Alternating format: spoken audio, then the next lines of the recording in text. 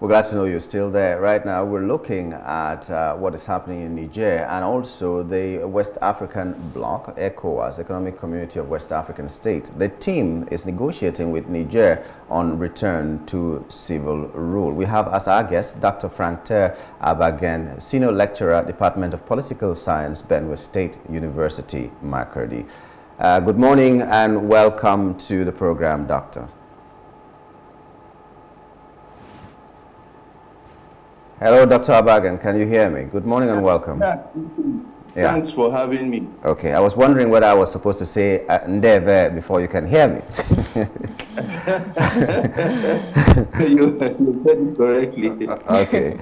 All right. Now, um, uh, before now, when the problem problem in uh, Niger happened, the ECOWAS community was talking very tough. They were going to give sanctions, and they actually did. Uh, they were going to go to war, even almost. That's what uh, we were trying to get from their talk. But now it has come down to negotiations to return to civil rule.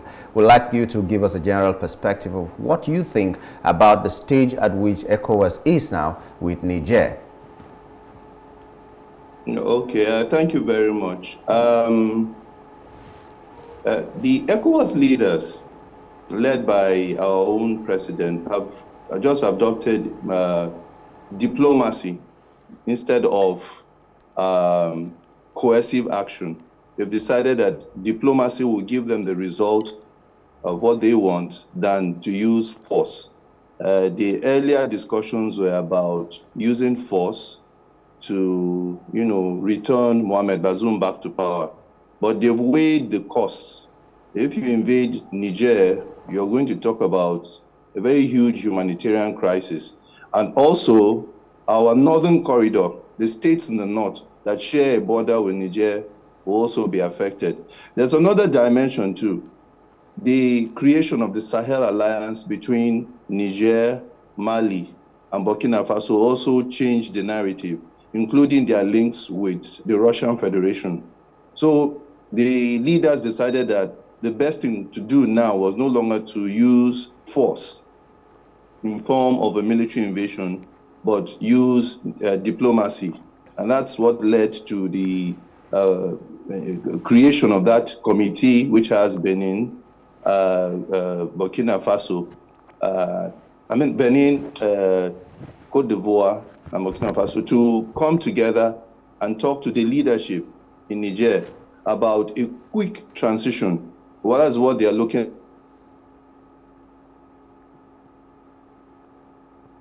And uh, ECOWAS has also said that um, despite the military coups along the West African corridor, you, the, the, the value placed on democratic rule as the best for states within the West African sub-region is not negotiable.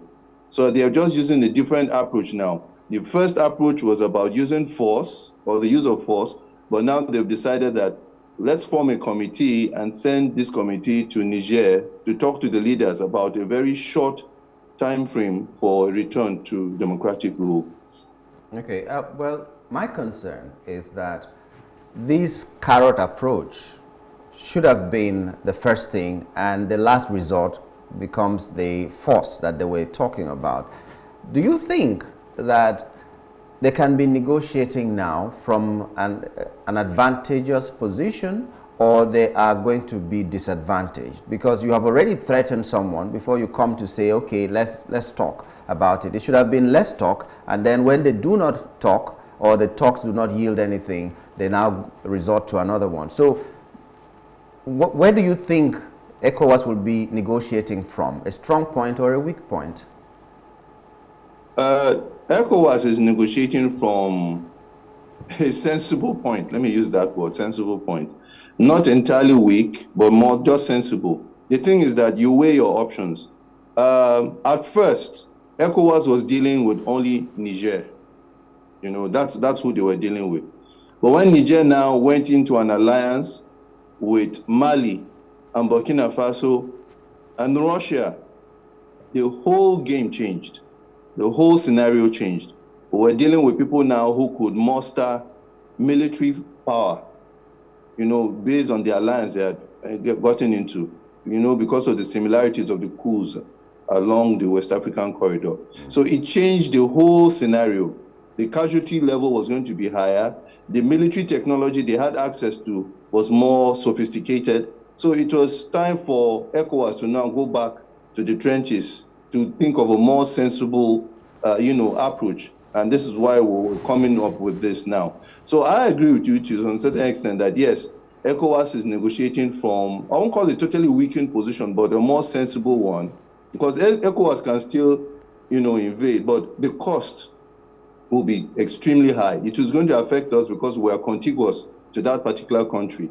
And also, the humanitarian crisis was going to be much. And this is what ECOWAS is trying to prevent. So this is the scenario that has changed the whole game with, you know, the initial, uh, you know, uh, interest in attacking or invading Niger. So I think ECOWAS is just trying to be uh, you know, reasonable at this point. But the, the, most important thing here is now, now we're using diplomacy, and I think somehow in this scenario they will achieve much more with diplomacy, in, in, uh, especially with the idea of asking the military leader, not just in Niger, but I know because it's going to spiral to both Mali and Burkina Faso and any other African country within the West African sub-region, that look, the time has come for you to give us a short transition program that will move us from this military rule, as you see, to a more civilian or democratically elected government, which reflects the will of the people. I think that's where the, the, the discussion is at now. What if they okay. call a bluff? Oh, sorry. Yeah. What if they call a bluff and say, okay, we don't need you anymore? Because that's what it seems now uh, instead of coming cap in hand to beg ECOWAS that, okay, uh, give us some time and all that, they now started forming another alliance or other alliances that will show that they don't even need ECOWAS anymore. Because ECOWAS, that yes. protection and everything was supposed to be there. They don't have it. They don't feel secure anymore. Now they're forming other alliances. What happens if they call our bluff? Well, well they, they uh, we are, uh, some, even as an analyst, I'm, I'm rather, I could say a bit impressed with what those states have done. We didn't anticipate them coming together the way they did. Mm. I guess maybe when you're forced into a corner, you do so. Uh, they, they weighed options, and uh, I, I, think this this didn't. I think it wasn't an accidental thing. They weighed the various options if there was going to be an aggression because we have threatened military action on other ECOWAS states who uh, decided to change government unconstitutionally. The case point of Gambia is still there. So what has happened now is that they've availed themselves the options. And the option now is, first of all, coming together. You're not dealing with the Nigerian army, you're dealing with the Malian and Burkinabe army. And then they also reached out to Russia, who has deployed the Wagner Force, which is one of the deadliest fighting uh, private fighting forces in the world right now. So this is the arsenal Niger has as it as its disposal. And then secondly, Niger is making a lot of money now. You recall that they were not happy with the arrangement when France was controlling things and an ounce of uranium was being sold for 80 cents. They're getting almost $300 per ounce now on the international market. And they're using that to make a lot of money. So they also have money now on their hands. So we're dealing with a situation whereby Nigeria has become suddenly larger than life. So the approach now has to be different. And I commend them for using this. Let's see what negotiations will do. Is the right way to do it now than to go into a particular conflict that will create a lot of crisis for us, uh, you know, in terms of destruction of lives and property. So this approach, I think, is the best one. Uh, yes, you could call the, the Nigerian government of being crafty and all that. well, I guess if you're in their shoes, you probably do the same thing. You need all the help you can get because you came to power unconstitutionally and you came to power when the international community seems to be against you.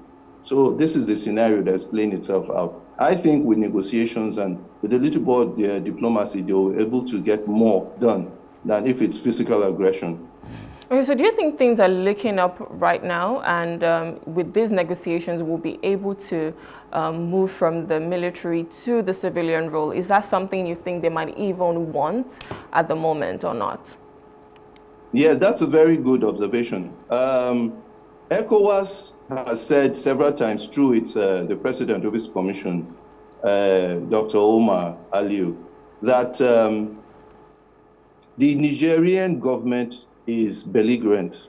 They are uh, they don't seem to want peace. You understand? They mm. they're also blocking attempts at humanitarian aid by ECOWAS to some of the Nigerians there, uh, and France is also pulling out. So France formed a security corridor to prevent jihadist attacks around the corridor, which is the same corridor that they share with Mali and Burkina Faso. So there are worries, yes, that it's going to happen. But the, the, the thing is that we're hoping, we're hoping that sense, reason will, you know, be the basis for the exchange.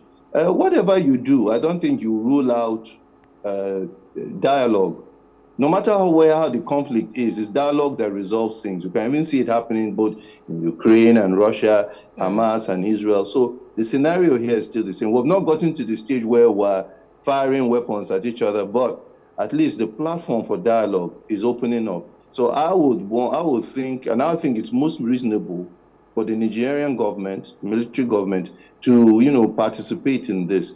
And and also the world is for democratic governance now.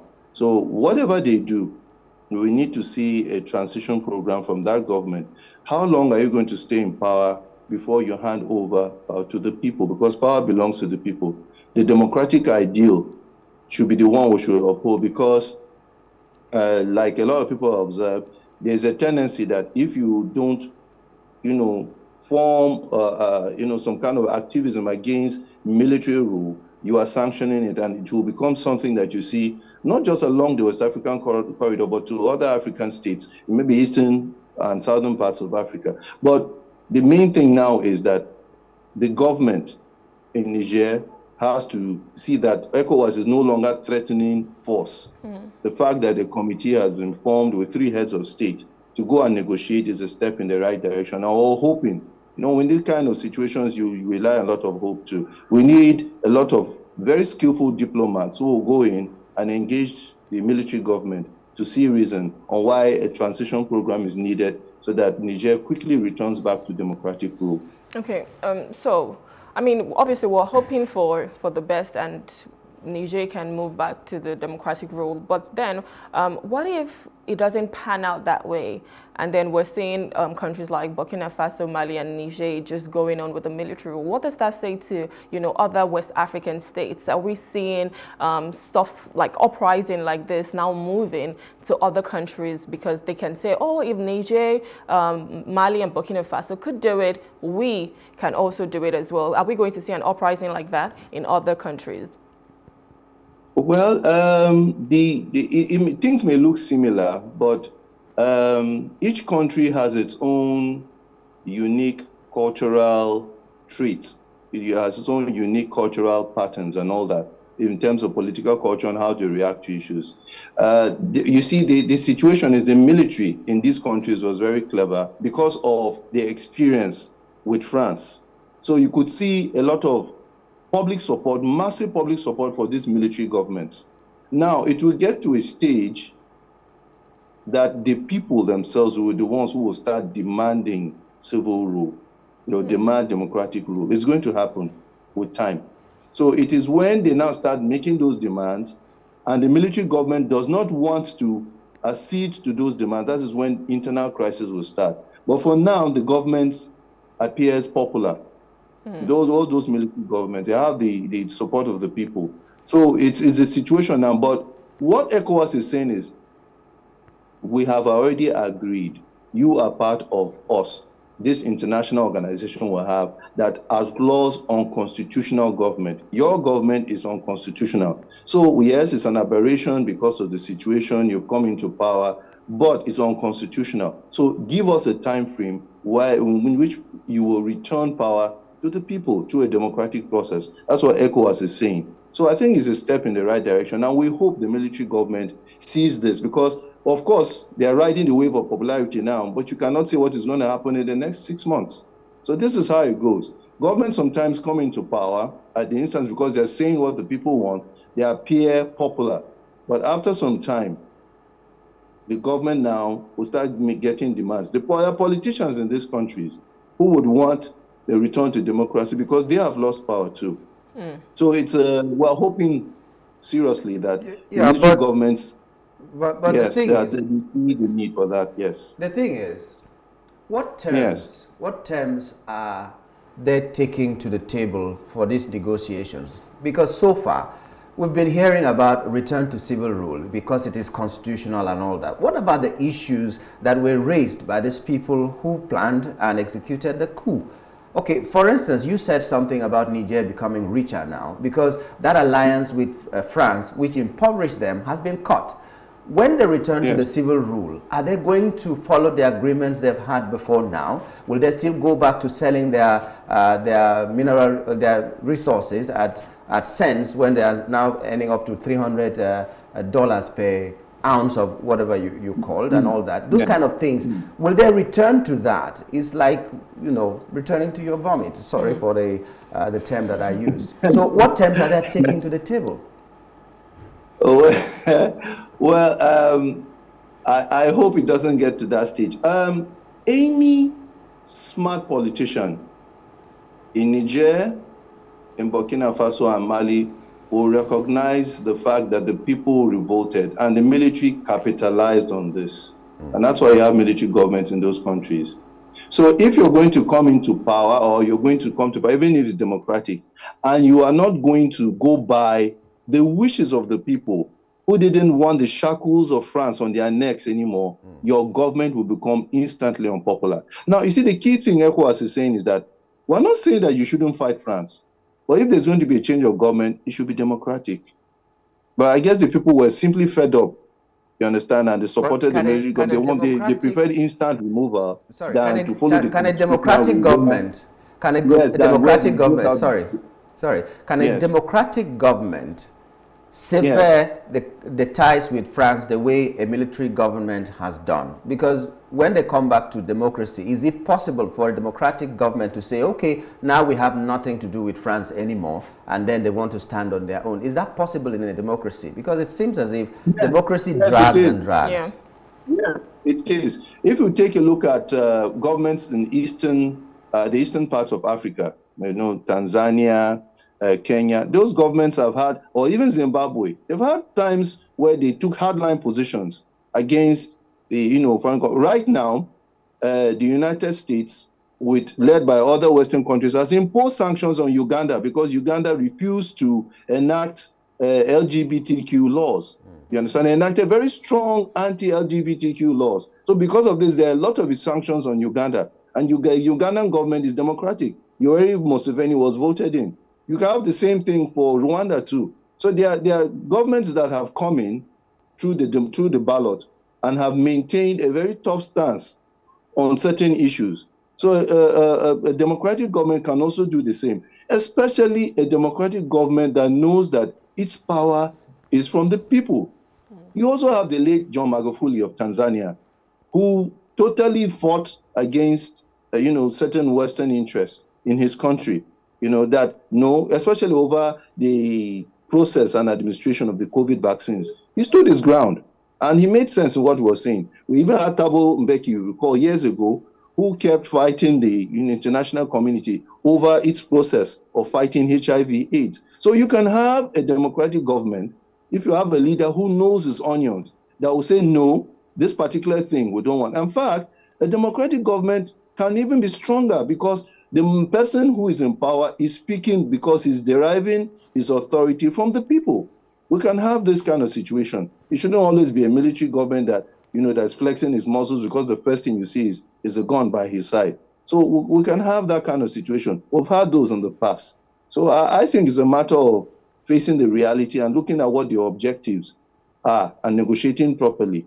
I think there's a win-win situation here. The government in Niger, in Burkina Faso, I have had to realize over time that they cannot maintain those structures. Because you are saying that if another person comes with a bigger gun within the military, the person can overthrow you. But if it's constitutional, you have the legitimacy to rule without any intervention or intrusion into your government. So, uh, in as much as oh, there, there's uh, some level of pessimism, uh, I want to have hope that they also know that with time, the governments must become democratic. Happy so the best thing to do is to negotiate, which Happy ECOWAS is trying doctor. to do now. Happy hoping, doctor. All right, we want to thank you so much for joining us today. Thank you for your insights and valuable contributions. Thank you. Thank you for having me. Thank you. All right, we've been speaking to Dr. Frank Ter Abagen. He is um, the, he is someone um, actually the senior lecturer in the Department of Political Science, Benue State University of Makurdi. Thank you so much for joining us, sir. So now we'll take a quick break, and when we return, we'll be looking at our second hot topic. Stay with us.